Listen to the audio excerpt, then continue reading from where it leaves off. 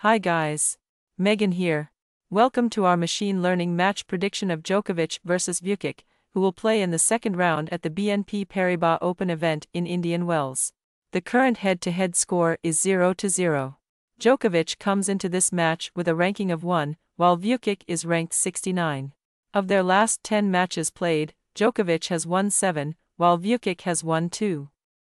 The MatchStat.com prediction algorithm uses about 190 variables. One very important stat for this match is on hard in recent matches. Djokovic has won 58% of his own second serve points and 43% of return points, versus an average opponent rank of 87, while Vukic has won 53% of his own second serve points and 36% of return points, against an average opponent rank of 178. To see detailed head to head stats and unlock our full prediction of this match for several markets, head over to MatchStat.com. Our predictions also include odds, so you have access to the best value bets available. See all predictions for today's matches at MatchStat.com.